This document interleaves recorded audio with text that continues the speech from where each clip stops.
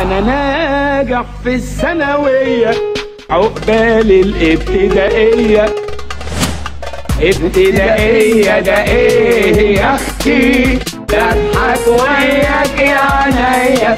طب خليك بلم الورد.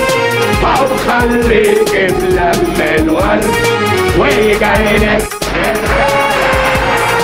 يا سلام طم طم